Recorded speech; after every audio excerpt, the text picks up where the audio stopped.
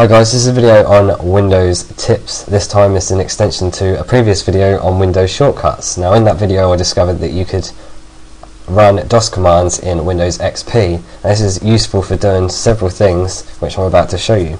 So let's begin. What's a command prompt? Start run cmd. This is a command prompt where you can just uh, run several commands. You notice it started in C Documents and Settings Duncan. Now what if I wanted to start this program in the folder, in a specific folder? Now what you can do is make a shortcut to run this in the folder. You just type in cmd and I'll say open command prompt here. Now I've got a test folder here, I'm just going to put this inside that.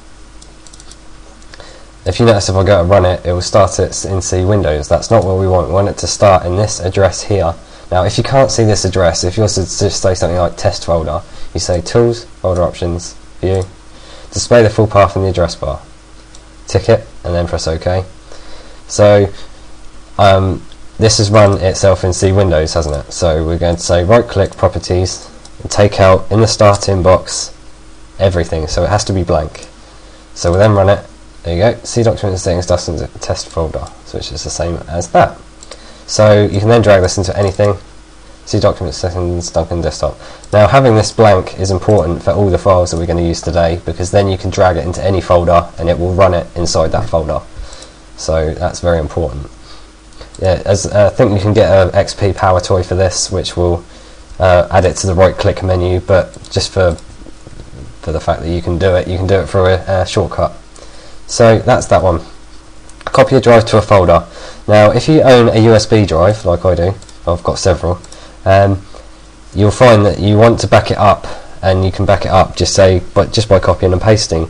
But there is another way you can do it, where you can have it, uh, which is a lot easier, where you can have it back itself up to specific folders. So what we're going to do is make a shortcut. Firstly, you've got to know the drive that your USB pen is, because we're going to use it in a shortcut. Mine's drive N here. You'll see I've got several files here uh, just random files in drive N. So what we want to do is we're going to make a shortcut on the desktop because I'm going to copy all the contents to the desktop. So I'll say xcopy and we're going to say the N drive which is the source drive which is N which we've just seen and then dot backslash which means whichever folder the shortcut is in so it's the current folder is dot backslash. So saying next I'm going to say copy USB drive here so we also need to change the properties and make sure this WinDIR is nothing, otherwise it will copy these into the Windows directory. So we then run this, double click it, flashes up, and you'll see the contents of the drive have been copied to the desktop.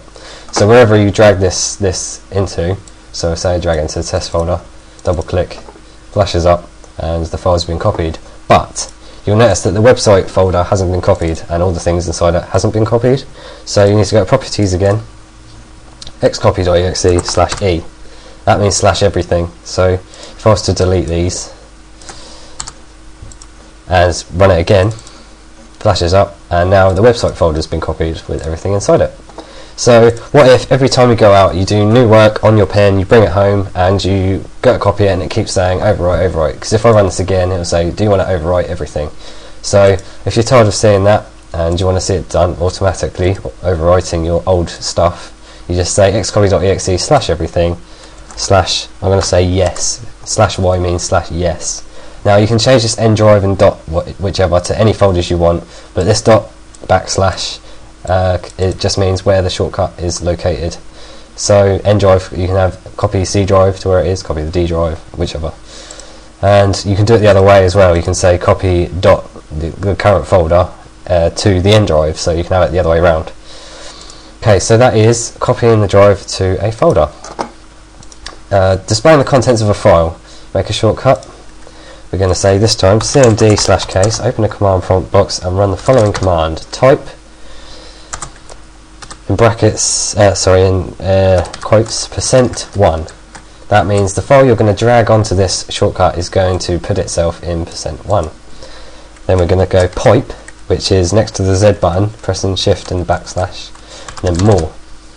Now uh, it's best to show you it running. Slash k means it's going to keep itself in this command box before it closes. So it's best to just show you, we're going to say contents. just going to show you the contents of any file that you drag onto onto it. So a lot of people will say, yeah, if you open up a text file, you can open it up in Notepad. That's fine. But if you've got an info file, this is included in some torrents. Uh, you can either download DAMN info viewer or you can use this shortcut. So you drag it over the shortcut, and you'll notice that it's got everything inside that file. You'll also notice it says the system cannot find the file specified. Just ignore that for the second because I'm not sure why it does it. I've tried the command in the normal box and it works, but uh, for some reason when I do that, it still works though. You can see it's actually opened the program and opened the uh, file and displayed its contents. So if you've got a long file? Now that's where that pipe more comes in. It adds more at the bottom. You'll notice it says system. Just ignore that. It, you notice says more at the bottom. So it stopped at a page worth of text. You press space, it'll stop at another page. So you can basically go on. And you'll notice that the slash k I put at the end means it stays in the box so you can close it. So you can read the end of the file. Save folder contents in a text file. Now I've got a file full of music. Oh, we'll delete that for a second. I've got a file full of my music here. File full of music. Oh, we do need that. Sorry, we're gonna. No, we don't. No. right, we're going to say new shortcut. I want to be able to display the contents of this directory in a text file. So we're going to cmd slash k if you want to keep it. Um, in the, uh, you want to show the box if it says any error messages. We're going to say dir. dir is the normal command to display the contents of a directory. But this time we're going to say greater than and we're going to say music.txt.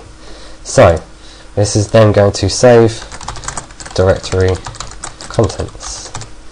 Go say finish and you'll notice when I run this it's uh, it's done it's just the command prompt's finished unfortunately I saved it in Windows because I've forgotten to change the start in bit to wherever the folder is. So, Alright, so here we've done it, it's in my music, and it's made a music.txt file which has displayed a directory of all my MP3s. So this is useful if you want to send someone the all this all the status of your uh, files, like all the sizes and the names of them.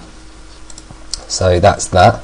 But you'll notice that hasn't included my iTunes and my CDDB directory. So edit this, we want to go cmd uh, slash k dir space slash s and then the greater than sign music.txt. So now it'll take a little bit longer, but that's done. And it's in music.txt and you'll notice that it's now got all the directories inside my music folder. So that is saving the contents to a text file. Now you can compare, the, I've missed comparing two files haven't I? Alright, so I've got document 1 and document 2. I've changed uh, there's they're exactly the same apart from I've changed dither in one of them to banana. So we're going to make a shortcut quickly, and we're going to this time say cmd slash k fc, which means file compare doc1.txt and doc2.txt. What it's going to do, if there's two files that you use regularly and they're very similar and you just want to see the differences between them, we're going to change the start in again to be blank run it, and it's just comparing files one, doc1 and doc2. Next it says banana and delay, and it says dither and delay. So it's showing you the differences between the two files. So that's comparing files and saving a tree of folders to a text file. Uh, basically, uh, we'll make it in the C drive this time. Uh, you can make a shortcut that will display again using that greater than text file. We're doing cmd slash k, and then we're going to say tree slash A, which means show it in ASCII format, because if you don't use this slash A command, for some reason it shows it in weird format, and then into tree dot text. Next, we're going to say tree, finish, uh, run it, and oh dear, that's in the C Windows folder again because I've forgotten to change start in. So we'll try again, tree, you notice it worked for a little bit and now it's finished and it's now put tree of my all my directories into a text file. Useful if you want to send someone a directory structure of your computer or drives or anything because again when you put the tree in any folder it will run and it will show you all the directories inside of that and run it into the text document. So that is several things you can do with a with the DOS commands in shortcuts. So thanks for watching my video. Please rate and subscribe. If I've missed anything, be sure to correct me. If I've done anything wrong, then let me know. Uh, thanks for watching.